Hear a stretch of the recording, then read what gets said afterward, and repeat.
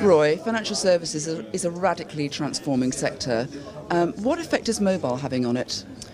Uh, from my perspective, the biggest effect of mobile is about network effects and about hyperconnectivity. So, finance traditionally was about uh, connecting the dots. Two players who didn't know each other, and banks were a clearing network, or Visa or MasterCard. Any of these are sort of clearing networks between strangers, whether merchants or buyers didn't know each other, or business to business didn't know each other. And what's happened with mobile is pretty much everyone is connected through the global telecommunications network. And hence, traditional clearing networks with intermediaries like banks are being devalued valued. I mean, people are able to connect directly. Uh, Zopa in the UK is a great example of that. Uh, TransferWise, there's a number of, even eBay is a symbol of sort of the two uh, buyers and sellers coming together directly as opposed to going through a third party such as a bank. And mobile is just accelerating that trend and making it uh, a much more dangerous place to play in the intermediary space. What do you think of London as a fintech capital?